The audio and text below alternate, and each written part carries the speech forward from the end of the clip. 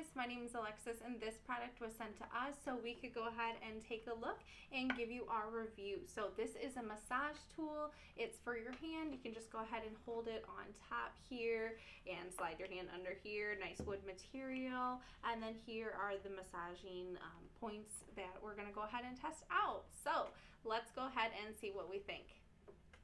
Can you do the honors? You can ask a loved one to go ahead and help you out so that way, you know, they're able to get to your back and everywhere. And it does feel really good. I can feel it getting the points in my back and relieving some tension. So overall, if you are in the market for a massager, I would definitely recommend this one.